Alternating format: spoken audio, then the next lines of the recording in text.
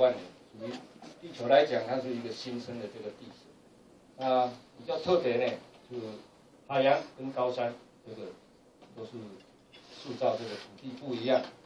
那整个气候呢，这个寒带啦、亚寒带还有热带的这些生态的这个丰富性哦。啊，比较特别呢，就是这个我们有很多的这个原住民啦、汉人啦、西班牙，还有日本人、荷兰人，就是整个它的这个文化，它有一个多变性。我刚才过来老北啊那个地嘿，啊，姑姑来挖一个挖一个，啊，就啥物人就拢袂记起来，哦，啊一样呢，在十几年前呢，我跟这个杨国珍老师呢，还有这个高雄的生态中心呢。我们就去了一趟镇西堡，跟杨总的这个分享理念一样，这个地方呢也是被让我被感动。我想不到在台湾这个土地，啊，竟然呢真的是这个几千年的这个树木，这个是非常多的。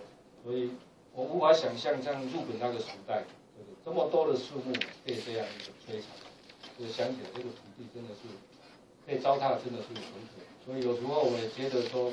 应该，要把一些留下来，让后代的子孙能够去了解呢这一块土地它的前世今生。那我想那样的地方对我来讲，就像去看一个老朋友，已经不是在接近这个看这些事，每一尊都会讲话。你看，这树木都一两千年，各位你可以想象一两千年你在哪里？你何其有幸，你在这个时空能够跟他认识，非常感动。那一个时候。等等，那一样呢。我来到这个苏马库区，这个很多的景象你想不到，真的是，就就去那个地方，你被那个氛围被被感染。那个时候，这个杨国珍这个老师他解说，让我了解他的这个这个这个快木的这个前世今生，所以让我留下非常深刻的印象。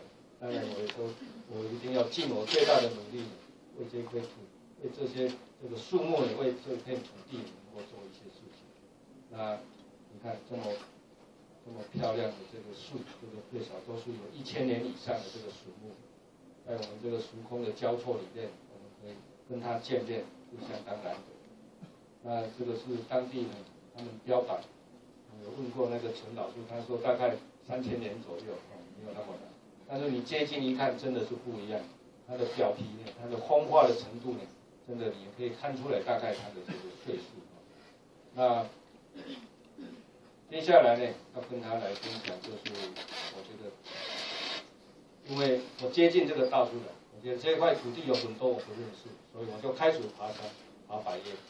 那我生平第一座百叶，就是在一九九九年。那这个就是，其实我北大我大概有去三趟，只有一次登顶，这个是第二次。啊这个是第二次上去，那我们知道很多爬过白叶的人都知道，北大武的这个夕阳真的是很特别、很漂亮，真的是不一样。那我在两千零一年我登玉山，是这是我第一次登玉山。一山呢，我去过三趟，这个是玉山北峰，在两年前我去玉山北峰，玉山北峰非常漂亮，我。也透过朋友的关系，我可以在这个地方住个两晚。告诉你，真的时间过得特别快，真的是山中无岁。我不知道那一天怎么过，非常快就太阳又这个又下去，真的是这个留下非常好的回忆。各位你想不到，在台湾的这个土地，在我离开前的三十分钟，记住这个黄喉貂，这个西伯利亚特有种黄喉貂，它。也是因缘际会，能留在这个土地。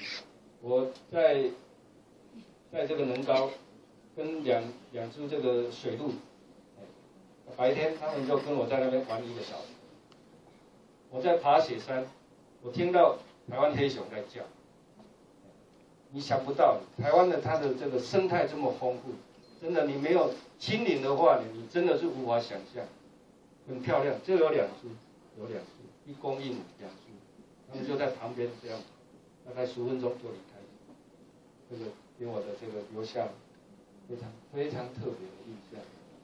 那这个是我两千零三年登雪山，那这个当初呢三月份还有很多的残雪，那个时候我第一次呢在山上看到这个雪，我想不到在台湾的土地，啊，在冬天的话，在高山的话，它的那个它的这个雪是这么这么厚，其实这些很多都是那个杜鹃，它就是边盖杜鹃，所以有很多人呢，他都没不敢上去，他们都在这边玩，但是我们就非常辛苦的就从这边上去，一般是从这边登顶，我们那个时候没办法，就从这个这一边，从北岭角这边登顶，我们三个人登登。就那一天就只有我们三个人去登顶，这个非常特别的感受。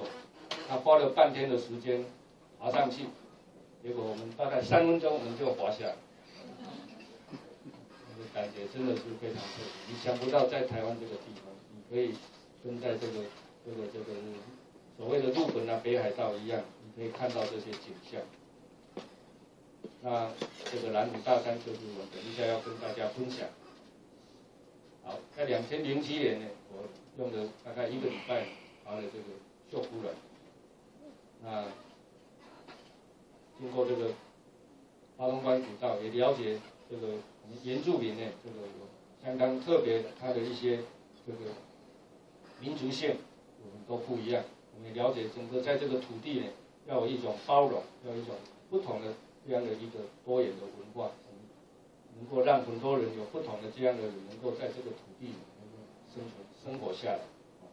那这个是当初呢，这个公司的一个柯金莲导演，他有拍一些纪录片，因为这里面有两个，他们要登这个圣母峰，那也陪着我们去做这样一个体能训练。